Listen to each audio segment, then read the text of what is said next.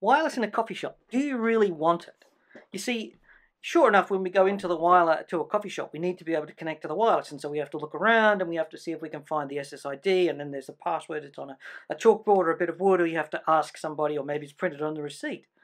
Um, and then we need to do better than that because obviously once you get the passcode and once you've got the SSID, it's certainly possible to intercept the traffic and to start stealing people's data, which sounds pretty fine as far as it goes.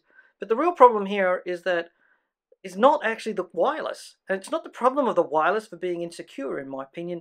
It's actually the problem is the carriers. Why is it that we don't just use our carrier networks? If you've got a smartphone and you're whipping it out to try and connect to the, the coffee shop network, then something's broken. In short, the carrier is charging you too much money or not providing you a good enough service. The real problem here isn't bad wireless in the coffee shop, it's bad telco networks. What all we need from a telco network is enough bandwidth, maybe as much as just stream some video for those people who like to watch Netflix. We need it to be low latency or low jitter enough to have a, a telephone call on Skype or FaceTime or Snapchat or whatever your favorite medium for that is. And we need to have um, no concerns about bandwidth. We don't want to be worried that every five minutes we're running out of bandwidth in the system. And that's really it.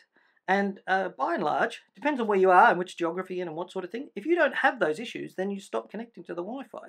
And I found this when I recently got a hold of an unlimited plan, which has unlimited data, and I can stream Netflix if I choose, and I can do all those things. And I stopped bothering about connecting to wireless networks, and I didn't worry about things like security and, um, you know, whether I could have a better captive portal.